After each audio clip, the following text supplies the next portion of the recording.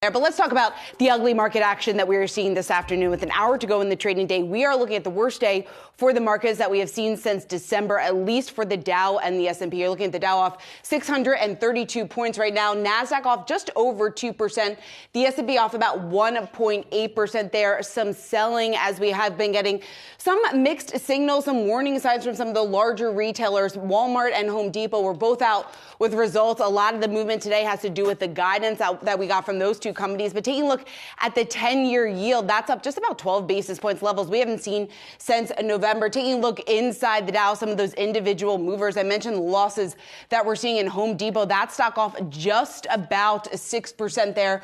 Walmart, though, now holding on to gains up just about a half of a percent. Taking a look at the sector action as we do see red across the board. Consumer staples, energy, the best of the worst performers here. Consumer discretionary, though, off just about 3% as we did get those disappointing outlooks, I think you can say, from Walmart and Home Depot.